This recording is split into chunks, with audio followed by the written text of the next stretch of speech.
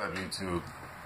When we're talking about touching ourselves, first of all, when it comes to males touching themselves, holding that region, comes from a deep insecurity from the birth trauma. Of course, circumcision is a terrible trauma. If you've ever seen it or heard it, it is one of the worst things. It's like ripping a fingernail off. That's what it, that's what it's like doing to a baby. It's really one of the worst acts that you could do. Really horrible. Like, it's really bad, yo. Like, it's like really.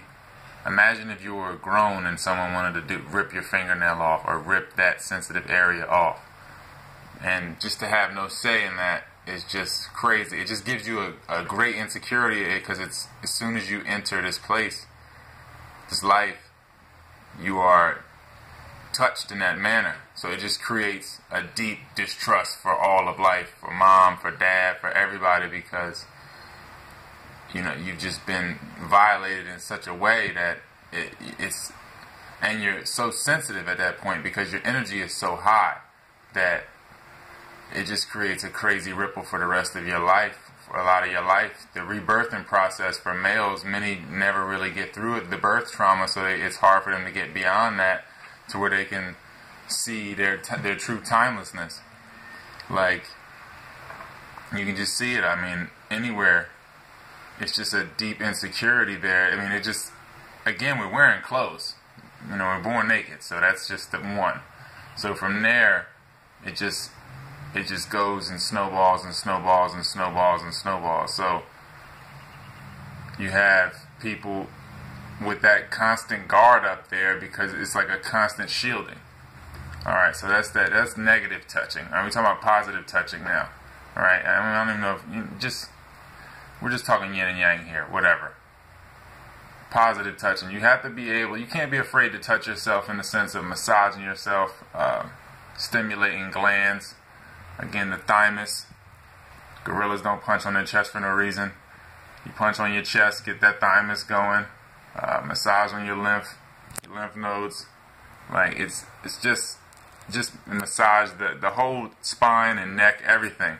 Get used to touching your body. Get used to pushing the air around. Because again, I'll get into it. The air is the intellect, the mind. So if you don't have a con- a good flow of air, then your mind is going to be foggy and clouded with thoughts, and it won't be a good flow of thoughts. You won't have good thoughts won't come because old ones are just sticking around because old air is hanging around. Again, you're popping and creaking when you get up. It's old air in the system. So that's what air is as an element. Water as an element, again, is your emotion and your subconscious. So that's your intuition, and it's it's kind of like your your your emo that can touch into the depths of the ocean and, and bring out, you know, that, that pearl. But at the same time, it's like, why do you have to hang out at the bottom of the ocean the whole time? Like, that's the duality of that. So that's water, you know. And then you got fire, which is your passion, and it's also your your your temper that can get you in trouble, of course. And then earth is your mother, earthly mother, and your inner slut. Everything you're doing as far as lust is earth. So you know, the thing that is between all the things, that is all the things, is the ether or the dark matter that connects it all to melanin, carbon, what have you. And that that is basically the chakra system. That's the body. That is life, and, and however it's arranged, it that is how life manifests. It's a different arrangement of the same cards. You're just shuffle in the deck.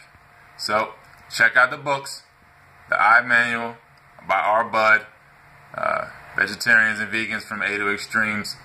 It's all by R. Budd. Uh, there's so many. There's eight of them on there. Check them out. Stuffed Pig about the impotence epidemic.